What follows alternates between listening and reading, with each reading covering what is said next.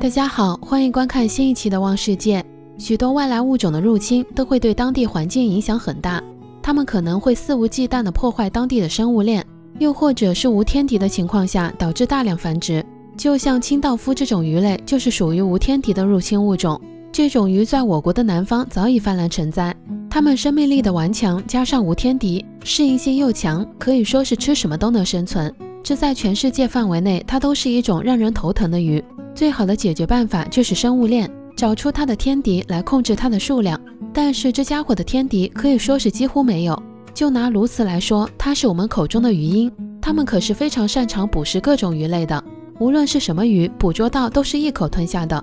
但是它们却拿清道夫没什么办法。由于清道夫很硬，几乎鱼鹰都是送不进嘴里。清道夫的原产地是南美洲，但是在南美洲，清道夫并没有泛滥，因为在南美洲有着水獭。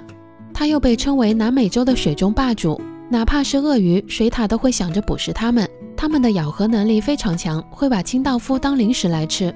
清道夫看到水獭都得绕着走。在我国，想要用水獭来治理清道夫不是很现实的问题，因为我国的水獭数量实在是太少了，想要靠它来治理清道夫几乎是不可能的。